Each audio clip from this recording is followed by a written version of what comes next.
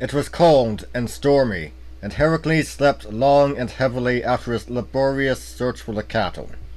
But in the morning he found that the horses which drew his chariot had mysteriously disappeared. In a great fury, he wandered far and wide until at length he came to another cave in which he found a mysterious creature.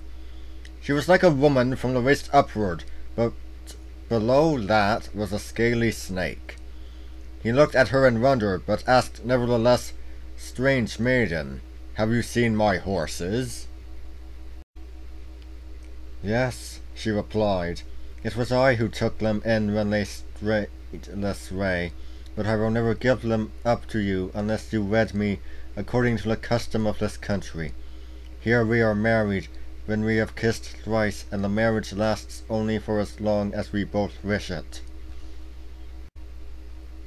There was no help for it, so Heracles kissed the snake maiden three times and lodged in her cave for three days.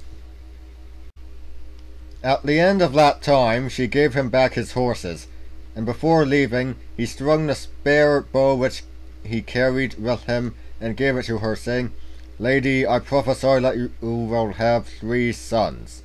Let the one who can draw this bow as I do come and seek me if he wishes for assistance in winning his fortune.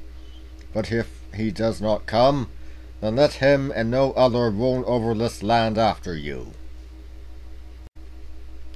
Then Heracles set out once more, and this time he reached Greece safely with the cattle. But as he was crossing the Isthmus of Corinth, a giant bandit who had taken possession of the place and stopped all travelers to rob or kill them held him up. Hand all those cattle over to me, he cried, and you shall pass in safety. Never, replied Heracles briefly. Then the bandit picked up a huge rock and hurled it at him. Heracles dodged the great rolling mass, and picking it up, flung it back with such good aim that the bandit never again molested travelers.